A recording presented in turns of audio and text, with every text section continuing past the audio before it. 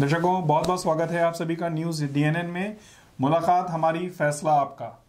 लेकिन उस फैसले से पहले आज हम आपके साथ बात करने जा रहे हैं पंजाब की राजनीति के बारे में, जहाँ पर एक बहुत दिलचस्प मुकाबला, एक ऐसा मुकाबला देखने को मिलने जा रहा है, जिसकी अभी तक किसी ने भी उम्मीद नहीं करी थी।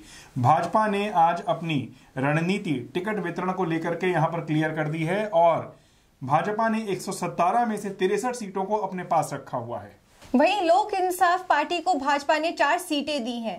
वहीं शिरोमणि अकाली दल संयुक्त को चौदह सीटें हिस्से में आई हैं। इसके आगे अगर हम बात करें तो भाजपा का एक मज़बूत गठबंधन माना जा रहा था कैप्टन अमरिंदर सिंह, जो कि पूर्व मुख्यमंत्री रहे हैं कांग्रेस से, जिन्होंने साढ़े चार साल कांग्रेस का नेतृत्व किया था पंजाब के अंदर वहीं पंजाब की राजनीति का एक अहम हिस्सा रहे केंद्र बिंदु रहे कैप्टन अमरिंदर सिंह की पार्टी पंजाब लोक कांग्रेस को भाजपा ने 36 सीटें हिस्से में दी हैं। दिलचस्प मुकाबला, जहाँ एक महीने, दो महीने पहले तक पंजाब के पंजाब में भाजपा के वजूद को भी खतरा था। इस समीकरण ने पंजाब की राजनीति में, इस सर्दी में भी गर्माहट पैदा कर दी है।